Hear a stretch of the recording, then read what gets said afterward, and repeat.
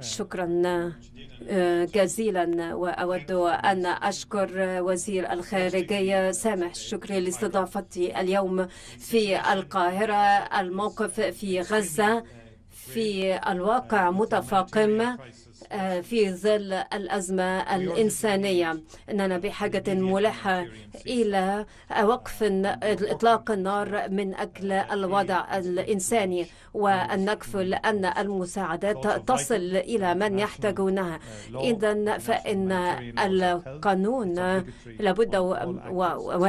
لابد وأن يكون لزاما على كل الدول الفاعلة والجهات الأخرى من غير الدول الفاعلة أن تلتزم بمبادئ القانون الدولي الإنساني. وأشكر مصر والسيد وزير الخارجية لاستجابته لهذه الأزمة. هذه الأزمة في الواقع متواجدة منذ سنوات وأنني أقدر أن مصر هي صوت مهم في المنطقة وأنها تدعو إلى عدم التصعيد والعمل العمل مع الشركاء في المنطقة كي تكفل أن هذا العنف لن ينتشر. السيد سامح شكري وأنا كذلك ناقشنا تدفق المساعدات الإنسانية إلى غزة دون شك بأننا بحاجة إلى زيادة كبيرة في المساعدات للوفاء أو بالوضع الإنساني المتفاقم في غزة مع تكشف هذه الكارثة أمامنا أمامنا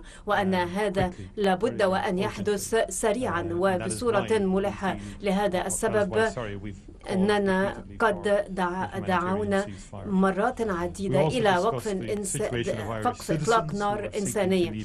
كذلك فإننا تحدثنا عن المواطنين الذين يسعون إلى مغادرة غزة وأن كذلك تحدثنا وكذلك العبور عبر معبر رفح كما تحدثنا فإن العديد من المواطنين قد عبروا من خلال معبر رفح وأنني أشكر السيد سامح شكري على تيسير هذا الأمر لعبور هؤلاء المواطنين وهذا التعاون في هذا الصدد وأننا سوف نواصل الجهد والعمل دون كلل في لحل هذه الأزمة. وكذلك نستقبل من وتستقبل مصر هؤلاء من يريدون المغادرة من غزة. فيما يخص إيميلي هاند بعقد اجتماعي بالأمس مع والدها توم هاند فإيميلي في الحقيقة هي في مواطنة أيرلندية وكانت من أحد الرهائن في غزة واختطفت يوم 7 أكتوبر. يمكن أن نتخيل الصدمة الكبيرة التي تتعرض إليها هذه الطفلة. وأن كما نعرف أن كل الرهائن لابد أن يتم إطلاق سراحهم ولا سيما الأطفال. لابد من إعطاء أولوية لإطلاق سراح الأطفال. وأنني أقدر كذلك العمل الذي قمتم به في خاصة إذا هذه الحالة والحقيقة والأسلوب الذي أكدت عليه سيادتك فيما يخص هذه الحالة وإثارة موضوعية من خلال مختلف القنوات والأولوية التي أعطيتموها لهذه الحالة. هذه الحالة هو أمر نشكركم عليه وسوف نبقى على اتصالات وثيقة فيما يخص هذه المسألة.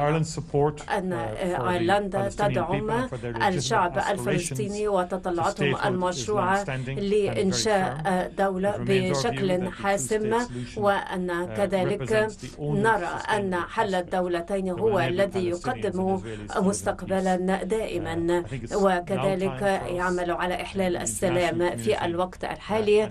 المجتمع الدولي ومع شركائنا الإقليميين لابد من مضاعفة جهودهم من أجل هذا من أجل تلك الآفاق السياسية في المستقبل وهي حل الدولتين. لدينا علاقات قوية مع مصر ونقدر هذه العلاقات الوطيدة وسوف كذلك كذلك نعمل على الدفع وتقوية هذه العلاقات الثنائية خاصة في سياق الاتحاد الأوروبي. ونتطلع كذلك إلى تعزيز الحوار مع زملائنا في الاتحاد الأوروبي ومعكم في الفترة القادمة. لأننا كلنا يجب أن نعمل على حل هذا الأمر في سياق هذه الحرب وهذا الصراع من أجل إنشاء مسار للخروج من هذا الصراع من أجل مواطني المنطقة وبخاصة المواطنين الفلسطينيين وكذلك المواطنين الإسرائيليين. وفي النهاية يجب أن نكفل أن الشعوب تعيش في انسجام وتتعايش بسلام مع بعضها البعض.